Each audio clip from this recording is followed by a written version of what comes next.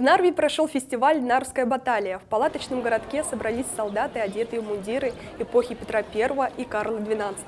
Как сообщают наши балтийские корреспонденты, они воспроизвели одну из знаменитых битв Северной войны между Россией и Швецией.